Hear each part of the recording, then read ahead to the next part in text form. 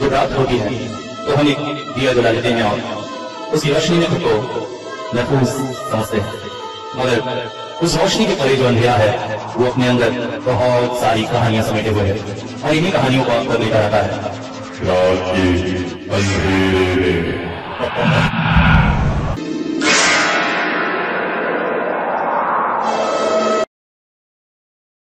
इधर जैसे ही सुधीर की माँ उसके पास पहुँची, उसके पीछे खड़ी हुई स्त्री भयानक भाव से पैशाचिक रूप से चिल्लाने लगी।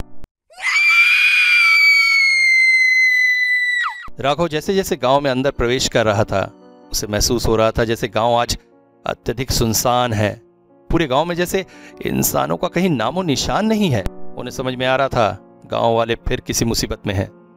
दूसरी तरफ़ अपनी माँ को भयानक मुसीबत में देखकर नरेश चुप नहीं रह सका। वो पागलों की तरह दौड़ा उसे रोकने के लिए।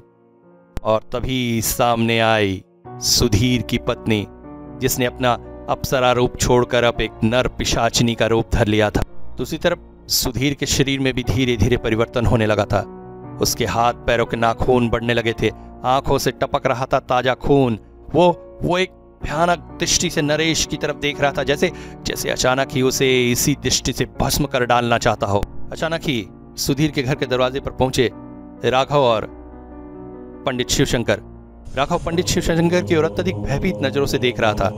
दूसरी ओर नर पिशाचिनी के हाथ धीरे धीरे लंबे होकर सुधीर की माँ की गर्दन की तरफ़ बढ़ रहे थे। अचानक ही पंडित शिवशंकर ने अपने झोले से निकाला एक रुद्राक्ष की माला माला को लेकर कुछ मंत्र बड़बड़ाते हुए वो आँगन में प्रवेश किए।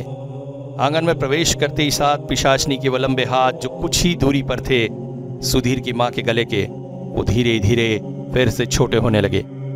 इसके पश्चात उसने अपने हाथों को सामान्य करके भयानक दृष्टि से मुड़कर देखा पंडित शिवशंकर की तरफ़।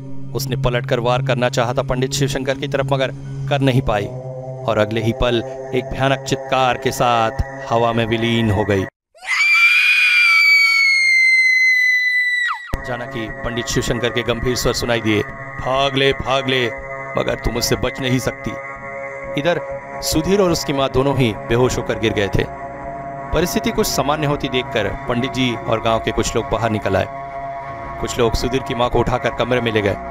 मगर जैसे वो सुधीर के पास पहुँचे, वो खुद ही उठकर खड़ा हो गया। सुधीर उठकर धीरे धीरे अपने कमरे की तरफ़ चलने लगा।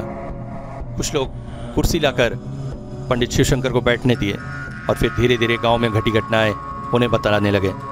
पंडित जी बोले, कृपा कर हमें हमें इस मुसीबत से बचाइए। सारी बातें सुनकर पंडित शिवशंकर बोले हम्म मगर पहले जो कुछ करना है हमें वो करना होगा। उनके कहे अनुसार धीरे धीरे गाँव वाले सामान इकट्ठा करने लगे। एक मिट्टी की हंडी में आधी रेत और आधी काली सरसों भरी गई। फिर उन पर मंत्र पढ़कर सबसे पहले सुधीर के घर के चारों ओर उसे छिड़क दिया गया। फिर वो लोग घर के अंदर आकर बैठे। पंडित जी बोले अच्छा हम लोग क्या इन लाशों को सत्कार कराएँ बिल्कुल बिल्कुल। जितनी जल्दी हो सके इन लाशों का सत्कार करना आवश्यक है। अच्छा सुनिए, ये सभी पिशाच के हाथों से मरे हैं, इसलिए इनके मुखाग्नि के लिए इनके घर वालों को जाने की ज़रूरत नहीं है, पंडित शिवशंकर ने सबसे कहा। तुरंत ही काम शुरू किया गया। कुछ लोग लकड़ियाँ इकट्ठा करने गए, कुछ लोग बाँस से अर्थी से जा रहे थे। मगर समस्या हुई लाशों को उठाकर उस अर्थी में रखने में, क्योंकि कुछ समय पहले ये लोग तो साधारण मनुष्यों की तरह गोल गोल चक्कर लगा रहे थे। ये लाशें कोई साधारण लाशें नहीं है। इन्हें इन्हें छूने की हिम्मत किसी में नहीं थी। अंत में गाँव के प्रधान ही एक लाश को उठाकर रखे। उन्हें देखकर बाकी लोगों में हिम्मत आई। जल्दी जल्दी सबकी अर्थियाँ बनाई गई। लाशों को देखकर समझ में आ रहा था कि उनकी आँखें कितनी डरी हुई हैं, कितनी भयानक परिस्थितियों में उनकी मौत हुई होगी, ये सोचकर सबका मन अंदर से काँप रहा था। इसके पश्चात पंडित जी ने सभी लाशों की आँखें मूंद दी। पंडित शिवशंकर के अनुसार पंडित जी, ग्राम प्रधान, ये लोग घर में ही रहे। बाकी करीब चालीस लोगों को साथ लेकर पंडित शिवशंकर स्वयं शमशान की ओर बढ़ चले। लाशों के परिजनों के रुद्न से पूरा आसमान जैसे गूंज उठा था। आकाश में फैल रहे बादल और हो रही हल्की वर्षा ये बता रही थी कि प्रकृति भी इस भयानक दृश्य से अत्यधिक दुखी थी। धीरे धीरे दोपहर हो आई। आसमान में अब काले बादल फैलने लगे थे। शमशान में पहुँचते तक आसमान में काले बादल हो आए थे। दिन की रोशनी धीरे धीरे छुपने लगी थी। जो लोग लकड़ी इकट्ठा करने गए थे, वो पहले से शमशान में लकड़ियाँ सजाए बैठे थे। अब चिताओं को जलाने की तैयारी करनी थी। अर्थी के बंधन खोले जा रहे थे। अचानक कुछ लोग ज़ोर से चीख उठे और एक विशेष तरफ़ देखकर थर थर कांपने लगे। पंडित शिवशंकर दौड़कर उनके पास पहुँचे। जब वो वहाँ पहुँचे तो उन्होंने देखा कि एक विशेष लाश को देखकर सब भयभीत हो रहे हैं। वैसे अर्थी में कुछ असामान्य उन्हें दूर से नहीं दिख रहा था, मगर जब पास पहुँचे तो पता चला कि मिंटू की अर्थी में उसकी लाश नहीं थी। उसकी जगह कुछ पेड़ के पत्ते और डंगालियाँ पड़े हुए थे। जब घर से निकले थे तो पंडित शिवशंकर ने स्वयं दसों लाशों को अर्थी में बंधवाई थी। फिर यहाँ पहुंचकर मिंटू की लाश कहाँ गई? और उसी पल शमशान के उस बबूल के पेड़ की तरफ़ से एक पैशाचिक अट्टहास सुनाई दी।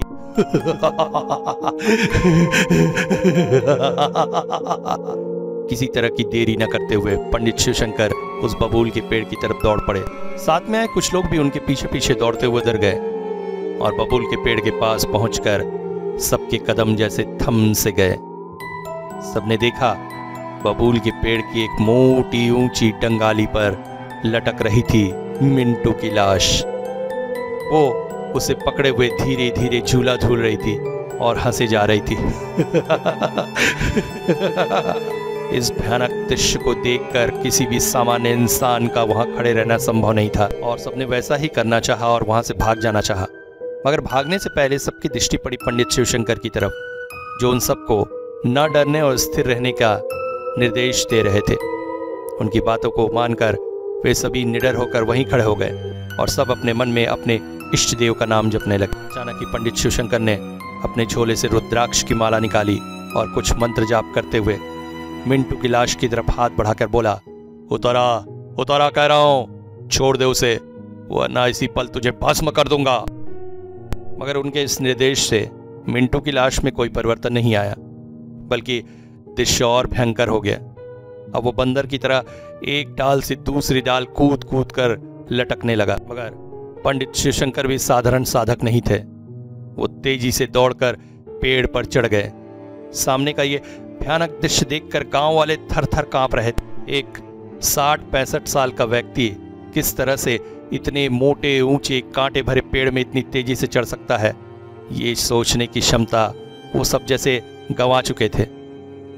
अचानक ही उन्होंने देखा, पंडित शिवशंकर पेड़ पर चढ़कर लाश को पकड़कर नीचे ले आए। नीचे आते ही मिंटू की लाश पहले जैसी निस्तेज थी। पंडित शिवशंकर ने सबको जल्दी से चिता सजाने कहा, कुछ ही देर में अंधेरा फैल जाएगा। जितनी जल्दी हो सके इन दस लाशों को चिता में डालकर अग्नि संस्कार करना होगा। कहे अनुसार जल्दी जल्दी काम हुआ और 10-15 मिनट में ही लाशों को चिताओं पर रख दिया गया और आग लगा दी गई। धधक कर जल उठी दस चिताएँ।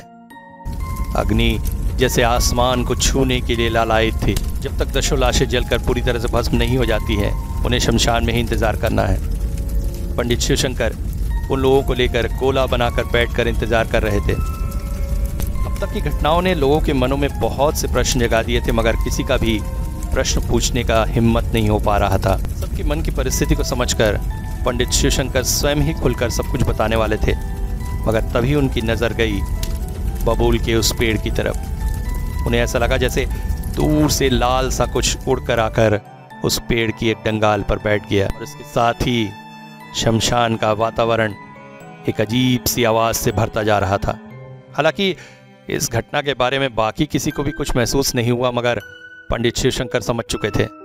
उन्होंने तुरंत ही अपने झोले से एक लाल मिश्रण निकाला और सबके चारों ओर एक बड़ा सा गोला बनाकर सबको उस गोले के अंदर बैठने का निर्देश दिया। पंडित शिवशंकर ने कहा, चाहे कुछ भी हो जाए, मेरे न कहने तक कोई भी इस गोले से बाहर नहीं आएगा।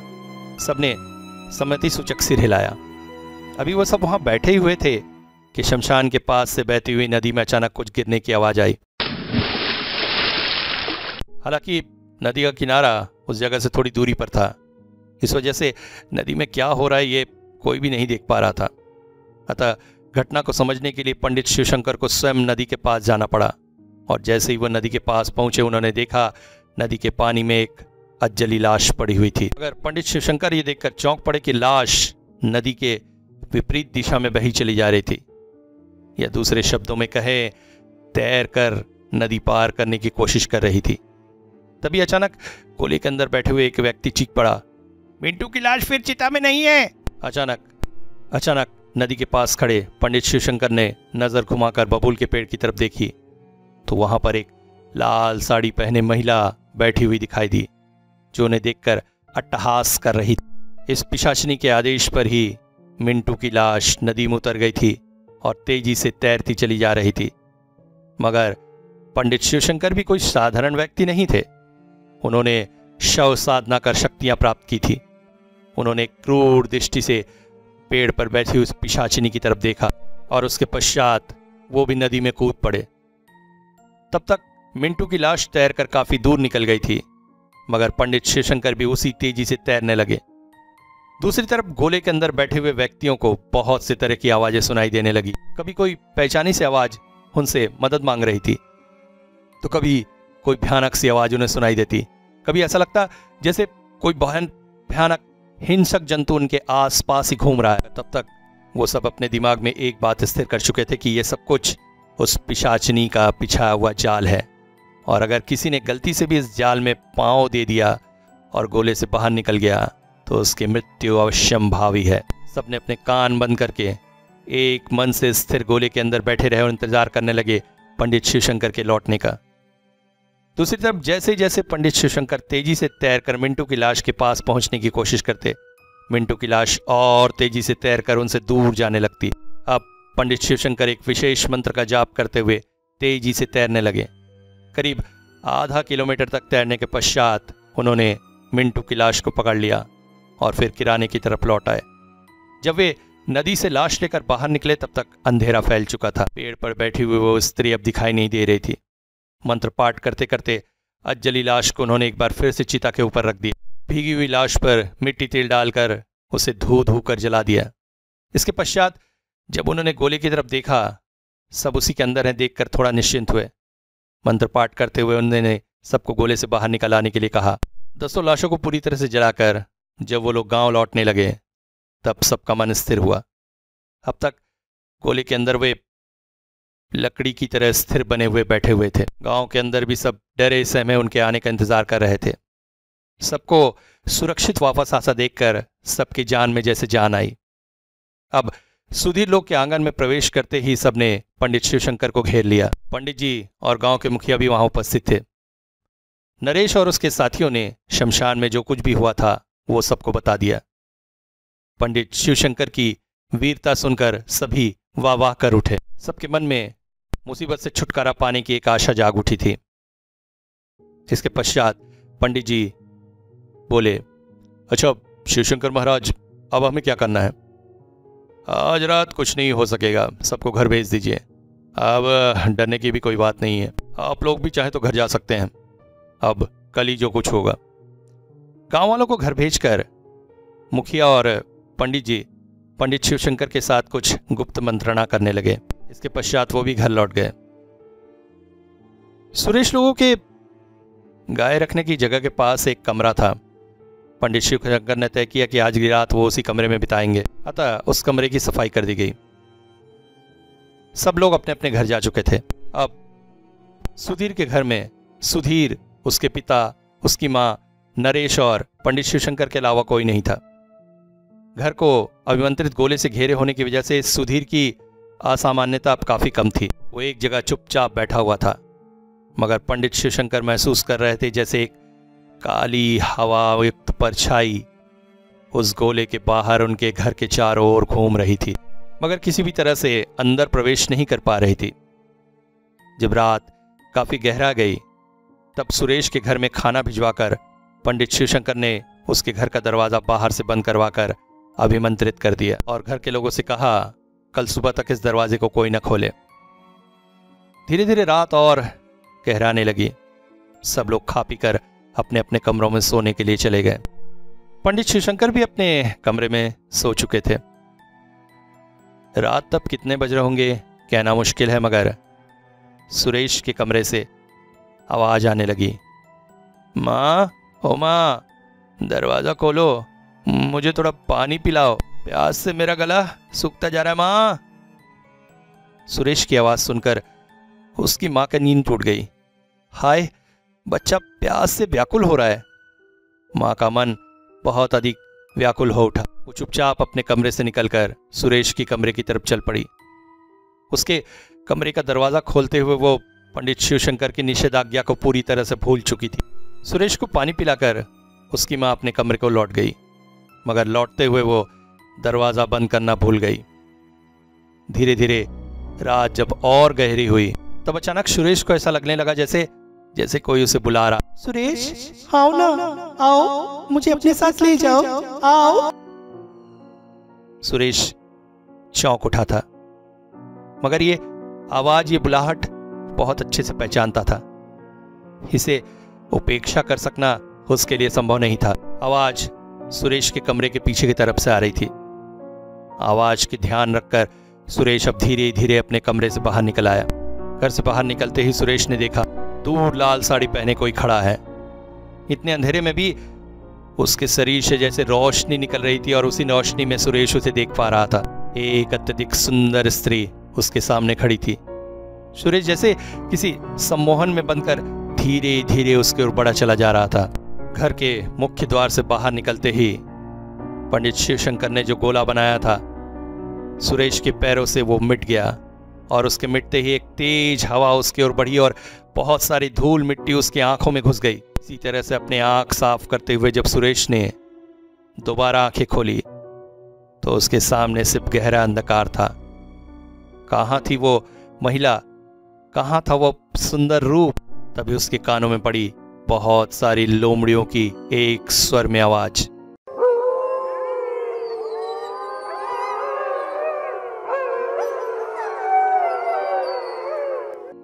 दूसरी तरफ़, गोले से बाहर निकलते समय उसके पैरों से गोले का एक हिस्सा मिट चुका था। अचानक ही सुरेश वापस अपने कमरे की तरफ़ लौटने लगा, मगर अब की बार वो वापस नहीं लौट रहा था। उसके अनजाने में ही उसके पीछे पीछे वो स्त्री धीरे धीरे उसके घर में प्रवेश कर रही थी। अभी तक सुरेश का घर सुरक्षित था क्योंकि वो उस गोले के अंदर था, मगर अनजाने में ही गोले को मिटाकर उसने उस पिशाचिनी के प्रवेश का रास्ता खुद ही खोल दिया था। दूसरी तरफ़ अचानक ही पंडित शिवशंकर की नींद टूट गई। जैसे ही पिशाचिनी के पैर उनके घर के अंदर प्रविष्ट हुए, उसकी उपस्थिति वो महसूस करने लगे। वो हड़बड़ाकर उठ बैठे। अचानक ही कमरे से निकलते ही उनकी नज़र पड़ी सुरेश के कमरे की तरफ़। मनी मन जो आशंका उन्हें थी, वो सत्य थी। सुरेश के कमरे का दरवाज़ा खुला हुआ था। कमरे के अंदर से आ रही थी पायल की आवाज़। पंडित शिवशंकर को समझने में देर न लगी कि पिशाचिनी ने अपनी माया के बल पर गोला मिटाकर घर के अंदर प्रवेश करने का रास्ता बना लिया है। पंडित शिवशंकर वहीं सिर पर हाथ रखकर बैठ गए। अभी उनके करने का कुछ भी नहीं था। रात के इस पल पिशाचिक शक्तियाँ परम शक्तिशाली होती है और ऐसे में उन्हें रोक पाना संभव नहीं। अब इंतज़ार करना था सूर्योदय का, जब ये शक्तियाँ कमज़ोर हो जाती हैं। धीरे धीरे गाँव के लोग सुरेश के आँगन में इकट्ठा होने लगे। कल पंडित शिवशंकर ने जो पराक्रम दिखाया था, उनसे उनके मन में डर अब कुछ कम हुआ था। पंडित जी और मुखिया भी वहीं उपस्थित थे। पंडित शिवशंकर जैसे ही अपने कमरे से निकले, उन्होंने देखा सुरेश के कमरे का दरवाज़ा बंद था, जैसे कि पिछली रात उन्होंने बंद किया था। वो समझ गए ये सब कुछ पिशाचनी का माया जाल है। इस वक्त सुरेश अपने कमरे में अकेला नहीं, बल्कि वो पिशाचिनी भी उसके साथ अवश्य है। पंडित शिवशंकर भी अपने आप को मानसिक रूप से तैयार कर चुके थे। उन्होंने पंडित जी को पास बुलाकर उनके कान में कुछ कहा और एक लाल कपड़े में मुड़े हुए किताब उनके हाथों में दी। फिर गाँव वालों को देखकर बोले, अभी मैं सुरेश के कमरे में जाऊँगा। आप लोग बाहर इंतज़ार करेंगे और एक बात ध्यान में रखें, जितना डरेंगे, मुसीबत उतनी बढ़ेगी। मन में हिम्मत लाकर मुसीबत का सामना करना सीखो। इतना कहकर वो मंत्र जाप करते करते सुरेश के कमरे में चले गए और दरवाज़ा अंदर से बंद कर दिया। बाहर खड़े सभी अपने अपने इष्ट देवता का नाम जाप करते हुए वहीं खड़े रहे। पंडित शिवशंकर की बातें बाहर खड़े हुए लोगों के मस्तिष्क में प्रवेश कर गई थी। उसके अलावा पिछले कुछ दिनों से जो कुछ भी हो रहा था, अब वो निडर होते जा रहे थे। सभी वहाँ खड़े हुए इंतज़ार करने लगे। दूसरी तरफ़ सुरेश के कमरे में एक और घटना घटने लगी। सुरेश के कमरे में, एक कोने में, घुटनों पे सिर छुपाए बैठा हुआ है सुरेश। दूसरी तरफ़ पंडित शिवशंकर खड़े हैं, जिनके एक हाथ में एक बेत है और दूसरे हाथ में सरसों, जिसे धीरे धीरे छिड़क कर तेज आवाज़ में बोल रहे हैं, बता, कौन है तू? कहाँ से आई है? मगर सुरेश पर जैसे कोई असर नहीं है, वो चुपचाप बैठा हुआ है। पंडित शिवशंकर अब सरसों सुरेश की ओर छिड़कते हुए ज़मीन पर बेत से ज़ोर ज़ोर से प्रहार करने लगे। बोल बोल, तू कौन है? बोल! अब धीरे धीरे सुरेश का चेहरा हिंसक होने लगा है। होंठ से लार गिर रही है। गले से गो गो की अजीब सी आवाज़ निकल रही है। उसका शरीर धीरे धीरे अजीब सा टेढ़ा होता जा रहा है। पंडित शिवशंकर और तेज़ी से मंत्र पाठ करने लगे और इसके साथ साथ सुरेश अब पूरी तरह से रक्त पिशाचनी के रूप में परिवर्तित होने लगा। अब अपने दोनों हाथों पैरों पर बिल्कुल जानवर की तरह छुपकर बैठा हुआ है वो। जैसे जैसे पंडित शिवशंकर ज़मीन पर बेत मारते हैं, उसके शरीर में जैसे आघात लगता है और वह चीख पड़ता है। जितना भी प्रयास करना चाहे वो अपनी जगह से नहीं हिल पा रहा है। तभी अचानक पिशाचनी एक भयानक आर्तनाद कर उठी और इस भयानक आर्तनाद के बाहर जाते ही बाहर खड़े हुए लोग जैसे काँप उठे। वो सभी एक टक सुरेश के कमरे के दरवाजे की तरफ़ देख रहे हैं। मगर अब चारों ओर शांति है। कमरे के अंदर से भी कोई आवाज़ नहीं आ रही है। न ही सुरेश का चिल्लाना न ही पंडित शिवशंकर की मंत्र की आवाज़। उनके मन में उद्विग्नता बढ़ती जा रही है। तभी अचानक सुरेश के कमरे का दरवाज़ा खुल जाता है। चारों ओर दिन की रोशनी है, मगर फिर भी सुरेश के कमरा अत्यधिक अंधकार से भरा हुआ है और तभी सबकी नज़रों के सामने जैसे कुछ उड़कर आँगन में आकर गिरा। सब आश्चर्यचकित नज़रों से देख रहे थे। उनके सामने जो आकर गिरा है, वो है पंडित शिवशंकर का कटा हुआ सिर। उनके चेहरे पर नाखूनों से भयानक तरह से नखोड़ने के निशान थे। आँखें जैसे बाहर निकलकर गिर जाना चाहती है। इस भयानक दृश्य को देखकर वहाँ खड़े बहुत से लोग तुरंत ही बेहोश होकर गिर पड़े। कुछ लोग डर कर वहाँ से भाग गए। मगर पंडित जी जैसे इस परिस्थिति से पहले से अवगत थे। उन्होंने कुछ लोगों को वहीं स्थिर खड़े रहने का इशारा किया। उसके पश्चात पंडित शिवशंकर द्वारा दिए हुए उस लाल कपड़े में मिमड़ी हुई किताब को खोलकर मंत्र पाठ करते हुए कुछ लोगों को लेकर वह सुरेश के कमरे के अंदर प्रविष्ट हुए। कमरे में प्रवेश करके उन्होंने देखा, पंडित शिवशंकर की शिरविहीन लाश अभी भी ज़मीन पर छटपटा रही थी और कमरे के कोने में बैठा हुआ था सुरेश। मंत्र पाठ सुनकर वो और सिमट कर बैठ गया। पंडित जी ने झुककर पंडित शिवशंकर के पड़े हुए झोले को उठा लिया और उसमें से एक शंख निकाल कर बजाने लगे। शंखनाथ सुनकर अचानक सुरेश उठ खड़ा हुआ। उसका शरीर ज़ोर ज़ोर से झटके खाने लगा और अगले ही पल निस्तेज शरीर ज़मीन पर गिर गया। एक काली सी परछाई उसके शरीर को छोड़कर कमरे में चारों ओर घूमने लगी और फिर कमरे के दरवाजे से बाहर निकल गई। पंडित जी ने शंख बजाना बंद कर दिया। उनके साथ आए कुछ लोगों ने। पंडित शिवशंकर की शिरविहीन लाश को आँगन में ले आए और उनके सर के पास रख दिया। इसके पश्चात पंडित जी ने उस किताब से एक दूसरा मंत्र पढ़ना शुरू किया। अब लाश के चारों ओर सभी गोला बनाकर बैठ गए। और पंडित जी कुछ और मंत्र पढ़ने लगे। पिछली रात, अमावस की रात थी, जब उस पिशाचनी का सुरेश के साथ मिलन हुआ था, जिससे उसकी अतृप्त वासना पूर्ण हो गई थी और इसकी वजह से वो अत्यधिक शक्तिशाली हो गई थी। मिलन के पश्चात सुरेश के शरीर से उसके प्राण उस पिशाचनी ने हर लिए थे। अब वो परम शक्तिशाली थी। उसे पराजित करने का एक ही माध्यम था, शमशान के उस बबूल के पेड़ को काट डालना और उसकी लकड़ियों से यज्ञ करना था गाँव के माँ काली के मंदिर में। तभी माँ काली के मंदिर में पड़ा हुआ उसका प्रभाव खत्म होगा। किताब के मंत्रों को पूरा पढ़ने के पश्चात पंडित जी उठ खड़े हुए और पंडित शिवशंकर के झोले को अपने कंधे में लटका ली फिर बोले, इस पिशाची ने हमारे बहुत से अपनों के प्राण लिए हैं। पिछली रात अपनी वासना खत्म करके उसने सुरेश के प्राण भी हर लिए परेश का शरीर अब पिशाचनी के वश में है। हम लोगों को डरने से नहीं होगा। जब तक प्राण है तब तक लड़े जाना होगा। गाँव के सब लोगों को इकट्ठा करो। सबसे कहो, डरे नहीं। चले शमशान में जाकर। पंडित शिवशंकर के कहे अनुसार जल्दी जल्दी बबुल के पेड़ को काटना होगा।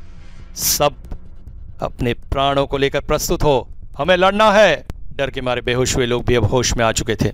सब पंडित जी की बात से स्थिर हृदय होकर हाथों में कुल्हाड़ियाँ लेकर शमशान की तरफ़ चल पड़। गाँव की महिलाएँ भी अब सख्त हृदय हो चुकी थी।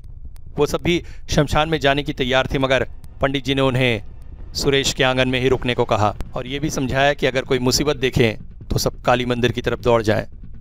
सब कुछ निर्दिष्ट करके अब वो सब शमशान की तरफ़ चल पड़े। जब वे शमशान में पहुँचे तो सूरज सिर के बिल्कुल ऊपर था। चारों ओर रोशनी झलक रही थी, कहीं भी कोई असावगिकता नहीं थी। गाँव के लोग अब निडर हो चुके थे। अपनों को खोकर वो इतने द्रवित हो चुके थे कि अब उन्हें किसी भी तरह का डर नहीं था। मगर बबूल के पेड़ के पास पहुंचकर एक और मुसीबत उनका सामना कर रही थी। गाँव वाले अपने हाथों में पकड़े हुए कुल्हाड़ियाँ फेंक कर ज़मीन पर लोटपोट खाने लगे। प्रबल लालच से जैसे उनके शरीर को पकड़ने लगा। इस तरह से एक एक करके सब ज़मीन पर लेट कर सोने लगे। केवल पंडित जी ही वहाँ स्थिर खड़े थे। वो उनके बीच खड़े होकर परिस्थिति को समझने का प्रयास कर रहे थे, मगर उन्हें समझने में ज़्यादा देर न लगी। ये सब कुछ ही पिशाचिनी की माया है। वो किसी भी तरह से पेड़ काटने नहीं देगी। उन्होंने एक बार फिर से झोले से शंख निकालकर बजाना शुरू कर दिया। शंखनाद की तरंगे आसपास फैलते ही सबके शरीर से आलस्य जैसे गायब हो गया। वो सब भी धीरे धीरे उठ खड़े होने लगे। सब अब तैयार थे पेड़ को काटने के लिए। कुछ लोग रस्सियाँ बांधकर पेड़ के ऊपर चढ़ गए। पेड़ के ऊपर के डंगालियों को पहले काटना ज़रूरी था। सब इस प्रयास में लगे थे मगर ये काम इतना आसान नहीं था। पहले व्यक्ति ने जैसे ही पेड़ पर कुल्हाड़ी चलाई, पूरा पेड़ जैसे थर थर कर काँप उठा। मगर इससे बिना डरे दूसरे व्यक्ति ने कुल्हाड़ी चलाना शुरू किया। मगर इन चोटों को पेड़ के जिस हिस्से में किया गया था, वहाँ से निकलने लगा ताज़ा इंसानी खून। दूसरे पंडित जी एक सुर में मंत्र जाप कर रहे हैं। मगर ऐसा लग रहा है कि अब उन मंत्रों का कोई भी प्रभाव नहीं है। पिशाचिनी की शक्ति परम उत्कर्ष पर पहुँच चुकी है। पेड़ से निकल रहे खून को देखकर लोग डरे नहीं। अपितु, अगले व्यक्ति ने प्रहार करने के लिए कुल्हाड़ी हाथों में उठाई, मगर अगले ही पल आश्चर्यजनक रूप से पेड़ जैसे काँप उठा और उसमें चढ़वे लोगों को इधर उधर फेंक दिया। कोई दूर जा गिरा, कोई जाकर टकराया पास ही के दूसरे पेड़ से। किसी का सिर फूट गया, किसी के हाथ पैर टूट गए। अगले ही पल सबको दिखने लगा गहरा अंधेरा। दोपहर के समय भी जैसे आसमान से सूरज की सारी रोशनी किसी ने सोख ली। पंडित जी दौड़कर एक किनारे होने लगे और तभी उनका पैर पड़ रहा एक पत्थर से और इससे वो दूर छिटक गए। उनके हाथों से शंख दूर छिटक गया और अंधेरे में जैसे कहीं खो गया। पिशाचिनी की इस प्रबल माया के आगे साधारण मनुष्य निस्तेज हो गए थे। अब क्या होगा?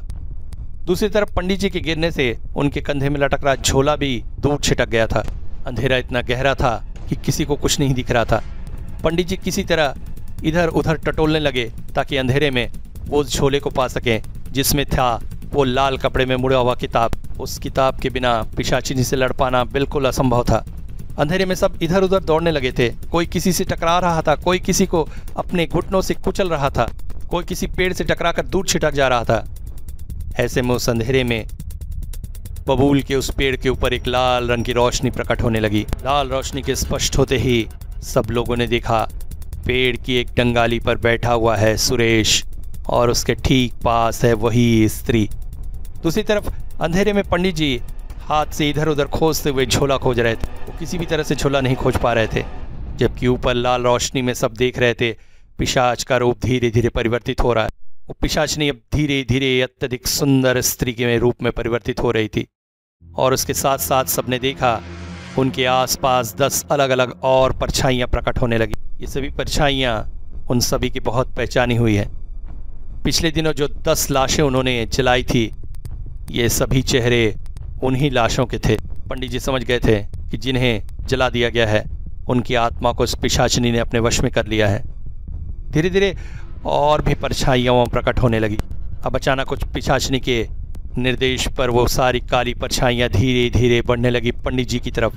पंडित जी हतप्रभ होकर उनकी तरफ़ देख रहे थे। हिलने डुलने की क्षमता भी जैसे उनके शरीर से खो गई थी। सामने मृत्यु उनकी तरफ़ मुँह फाड़े चला आ रहा था। तभी अचानक हवा की उस निश्शब्दता को तोड़ते हुए गूंज उठी शंख ध्वनि। चारों ओर अंधकार जैसे धीरे धीरे छटने लगा और इसके साथ ही सूरज की तेज रोशनी के प्रकट होते ही वो काली परछाइयाँ धीरे धीरे धुएँ में बदलकर गोल गोल घूमती हुई गायब होने लगी। अचानक दिखा बबुल पेड़ के नीचे बहुत सारी लाशें पड़ी हैं, जिनके शक्त विक्षत शरीर पड़े हुए हैं। उन्हें देखकर समझ में आ रहा है उनमें से कोई भी जीवित नहीं है। तो फिर शंखनाद कौन कर रहा है? वहाँ पड़ी हुई लाशों में से किसी के पास भी शंख नहीं है, मगर आसमान पूरी तरह से शंखनाद से गूंज उठा है। आसपास से जैसे सारी अशुभ शक्तियाँ नष्ट हो गई हैं। पेड़ के ऊपर ना तो सुरेश है, ना ही वो पिशाचनी। तभी अचानक दूर एक और पेड़ के नीचे एक परछाई सी दिखाई दी। पंडित जी चौंक पड़े। पंडित शिवशंकर? वो एक टक पंडित जी की तरफ़ देख रहे थे। मगर ये दृष्टि भाषाहीन नहीं थी। वो जैसे आँखों के इशारे से पंडित जी को समझा रहे थे कि उन्हें अब क्या करना। पेड़ काटने के लिए सात जो लोग आए थे, उनमें से कुछ मारे गए हैं और बहुत से लोग घायल होकर इधर उधर पड़े हुए हैं। ऐसे में अब अब पेड़ कौन काट सकता था? तभी उन्होंने देखा, पंडित शिवशंकर की ऊपर छाई एक तरफ़ इशारा कर रही है और उस तरफ़ मुड़ते ही उन्होंने देखा, बहुत सारे लोग उसी तरफ़ चले आ रहे हैं। मगर ये सब आकृतियाँ, सामान्य इंसानी आकृतियाँ नहीं हैं। इनके आँखों में जैसे हिंसा की आग जल रही है। एक टक देखने से ऐसा लगता है जैसे जैसे माँ काली स्वयं बहुत सारे इंसानों का रूप धर कर उस ओर बढ़ी चली आ रही है। सब जैसे जैसे उस अशुभ शक्ति के विनाश के लिए मैदान में उतर चुकी हैं। पास आते ही पंडित जी ने देखा, वो सभी गाँव की महिलाएँ थी, जिनके किसी के हाथ में दाव, किसी के हाथ में कुल्हाड़ी और अलग अलग तरह के हथियार थे। सबके सर पर लाल सिंदूर के टीके थे। पंडित जी एक बार मुड़कर फिर से पंडित शिवशंकर की तरफ़ देखे। वे मंद मंद मुस्कुरा रहे थे। आसपास की परिस्थिति को देखकर महिलाएँ डरी नहीं। जो काम करने आई थी, उसमें जुट गई। और अगले ही पल अपनी सारी शक्ति लगाकर एक के बाद एक पेड़ पर प्रहार होने लगे। तभी कोई माँ काली का मंत्र जाप करने लगा। पूरा वातावरण पवित्रता से भर उठा। आसपास पड़े घायल लोग भी धीरे धीरे उठकर खड़े होने लगे। वो सब भी अब अपना दर्द भुलाकर पेड़ पर आघात करने लगे। पंडित जी, आश्चर्यचकित हो उठे। गाँव के इन नीरी लोगों में इतनी ताकत कहाँ से आ गई? जो अपना दर्द भुलाकर भी वो पेड़ काटने में जुट गए। उनके एक एक चोट से बबूल के पेड़ पर गहरे घाव हो रहे हैं। अचानक पंडित जी के दिमाग में एक बात कौन गई? अचानक नरेश के कान में पंडित जी ने कुछ कहा। पेड़ के कटे हुए एक बड़े से हिस्से को उठाकर वो एक विशेष दिशा में दौड़ने लगा और उसे महसूस हुआ जैसे उसके पीछे काली सी परछाई दौड़ती चली आ रही। पिछले दिनों जिस लाशों को उन्होंने जलाया था, उनकी परछाइयाँ जैसे हाथ बढ़ाकर उसकी तरफ़ चली आ रही और उसे पकड़ना चाह रही। नरेश जितना तेज दौड़ रहा था, परछाइयाँ जैसे उसके और करीब आती जा रही थी। तभी अचानक बबूल के पेड़ के पास वही नारी मूर्ति प्रकट हुई। धीरे धीरे वो बढ़ने लगी पंडित जी की तरफ़। पंडित जी ने मंत्र पाठ चालू रखा है मगर उस मंत्र पाठ से जैसे उसे कोई असर नहीं हो रहा है। पिशाचिनी पंडित जी के करीब आ गई और अचानक ही उनकी गर्दन पकड़ ली। आ, आ, आ, और उसके साथ ही उनके पूरे शरीर को हवा में उठा दिया। अब वो पिशाचिनी उनके शरीर को पकड़कर हवा में गोल गोल घुमा रही थी। अपने प्राण बचाने के लिए पंडित जी तेज़ी से मंत्र पाठ जारी रखे हुए थे। उसके साथ साथ दर्द की चीखें भी निकल रही थी। मगर इस पिशाचिनी के सामने उनकी एक नहीं चल रही थी। दूसरी तरफ़ वो दशों परछाइयाँ धीरे धीरे बढ़ रही थी नरेश की तरफ़। मगर नरेश भी पागलों की तरह दौड़ता चला जा रहा था। आज अगर उसने अपने कदम रोक दिए तो उसके ऊपर आ जाएँगी मौत की परछाइयाँ और उसके साथ साथ गाँव वालों के ऊपर भी भारी मुसीबत। यही सोचकर नरेश और तेज दौड़ने लगा। दूसरी तरफ़ पंडित जी के साँसें धीरे धीरे बंद होती जा रही थी, मगर फिर भी उन्होंने हिम्मत नहीं हारी। मंत्र जाप जारी रखा। दूसरी ओर नरेश दौड़ता चला जा रहा था। वो जितना तेज हो सके दौड़ रहा था अन्यथा वो काली परछाइयाँ उसे पकड़ लेंगी। भागते भागते अचानक उसकी नज़र पड़ी काली मंदिर पर। गाँव का वो काली मंदिर बहुत करीब था, और थोड़ा सा दौड़ने से ही वो उस काली मंदिर में प्रवेश कर जाए। उसने अपनी दौड़ने की रफ्तार और बढ़ा दी और कुछ ही पलों में वो मंदिर के आँगन में प्रवेश कर गया। प्रवेश करते ही उसने पीछे मुड़कर देखा वो दसों काली परछाइयाँ काली कुंडली बनाकर गोल गोल घूमती हुई आसमान की ओर बढ़ चली थी। मंदिर के अंदर प्रवेश करने की उनकी हिम्मत नहीं थी। दूसरी तरफ़ पंडित जी के सांस लगभग थमने को थे। सभी एक मन से पेड़ काटने में जुटे हुए थे। किसी की दृष्टि भी पंडित जी की तरफ़ नहीं पड़ी थी और पंडित जी भी किसी को बुलाने में असमर्थ थे। एक बार उनका शरीर पूरी तरह से काँप उठा। आ, आ, आ, और फिर निस्तेज होने लगा। पिशाचिनी के चेहरे पर भयानक मुस्कुराहट तैरने लगी थी। पंडित जी की आँखें जैसे बाहर आने को तेज़ी थी। मुँह से लार गिर रही थी। शरीर धीरे धीरे निस्तेज होता जा रहा था। मगर तभी पिशाचनी एक ज़ोर से चिल्ला उठी और उसके साथ साथ उसने पंडित जी के शरीर को छोड़ दिया। उसका शरीर पूरी तरह से जैसे धधक उठा था आग में। पूरे शरीर में आग लग गई। उसका शरीर धीरे धीरे जैसे भस्म होने लगा था। वो ज़ोर ज़ोर से चीखने लगी थी। दूसरी तरफ़ काली मंदिर में बबूल की उस लकड़ी के छोटे छोटे टुकड़े बनाकर धीरे धीरे यज्ञ कुंड में डालकर, आग लगाकर, कुछ मंत्र पढ़ते हुए आहुतियाँ दे रहा था। नरेश ने जैसे उसके सिर के पीछे रखा हुआ घंटा बजा दिया।